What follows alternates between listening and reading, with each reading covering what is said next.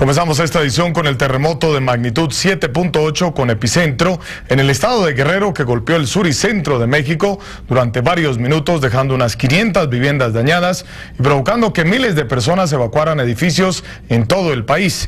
Cruz Liz nos tiene lo último. Escenas de pánico se vivieron en la capital del país tras registrarse un fuerte sismo de 7.8 grados.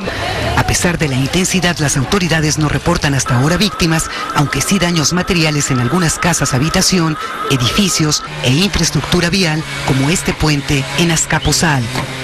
Afortunadamente no se reportan hasta el momento, no quiero descartarlos de plano, pero afortunadamente no se reportan daños por lo menos graves el sistema eléctrico nacional está funcionando plenamente en su capacidad de generación. Hay algunos cortes de energía eléctrica, probablemente por algún cable que se haya caído en alguna colonia, etcétera, que se están ya atendiendo y reparando. El sistema de salud, los hospitales, las clínicas están funcionando bien, con normalidad, algunos cristales rotos, mucho susto, mucho pánico, es cierto, pero está bien.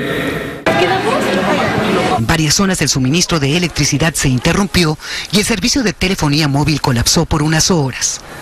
Este es uno de los sismos más intensos que se han registrado en el país en los últimos años. Hubo mucho pánico de los pasajeros, los vagones se movían como si anduviéramos en una camioneta de retiras cuando andan en, caminos de terracería. Espantado sí, crisis también, muchas crisis.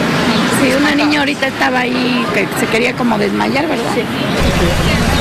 Edificios en la céntrica Avenida Reforma fueron evacuados de manera preventiva y siguiendo el protocolo establecido por Protección Civil. Una de las zonas donde se sintió con mayor fuerza este sismo fue en la colonia Condesa.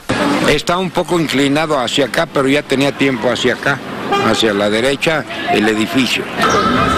Tras el temblor se han registrado varias réplicas que mantienen a la población en alerta. Cruz Liz, Ciudad de México.